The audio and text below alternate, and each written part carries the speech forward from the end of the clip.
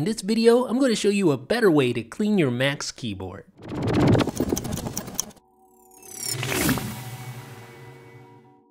How's it going folks? This is Jeff Benjamin with 9 to 5 Mac. We've all been there before. We're eating at our desk and we have just stuff all over, crumbs, whatever the case may be, all over your keyboard.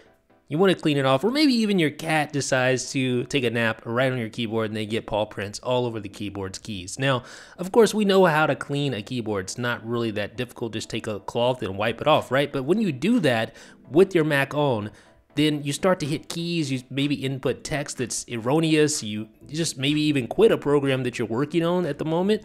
It's not a good thing, right? A better way is to use an app called Keyboard Cleaner. And this is a free app. It was actually submitted to the Mac App Store a long time ago, but Apple never approved it for whatever reason. But this app basically allows you to suspend the activity on your Mac. It goes to a black screen so that you can't input text while you're cleaning your keyboard. So I'm just gonna launch the app just like that. Now Keyboard Cleaner is launched. It's a black screen and now I can clean my keyboard at will without worrying about inputting text or quitting an app or anything like that, just messing up something I'm working on.